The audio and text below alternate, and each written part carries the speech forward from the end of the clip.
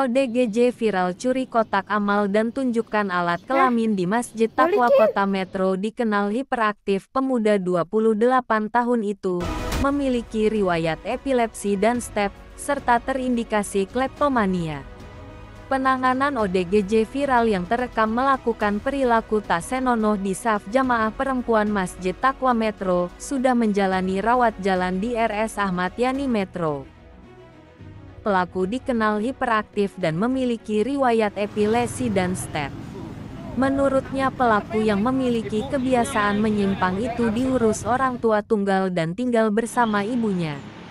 Amantu masih menunggu hasil pemeriksaan untuk menentukan penanganan lanjutan sesuai rekomendasi rumah sakit.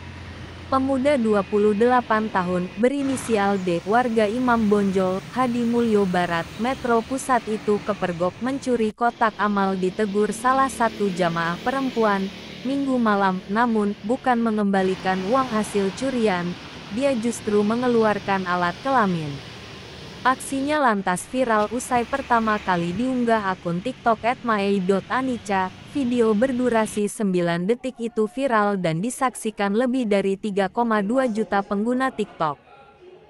Memang artinya si D ini ya, si D ini Dio ini memang sudah mempunyai kelainan dari awal anak ini ya, kelainan perilaku lah itu dari awal karena memang ada beberapa faktor sih yaitu uh, salah satunya dari hasil asesmen waktu itu yang satu ini keluarga itu tidak harmonis yang jelas dia kan dari keluarga yang broken home karena perceraian terus pola asuh yang kurang optimal dari karena orang tuanya tunggal kan yang yang mengasuh hanya ibunya aja. Terus pengaruh lingkungan pergaulan terus kemudian juga keterbatasan ekonomi keluarga dan juga adanya indikasi gangguan kejiwaan dan gitu.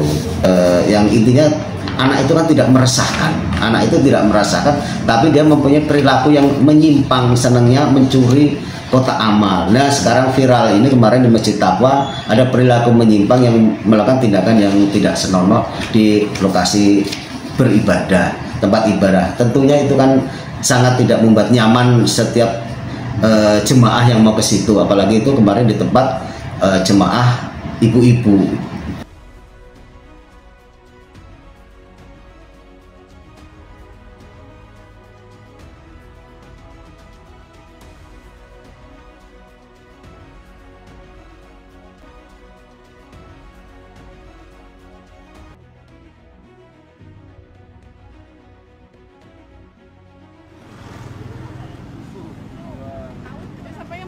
Ibu, ibunya mana ibunya? Ibunya harus ikut.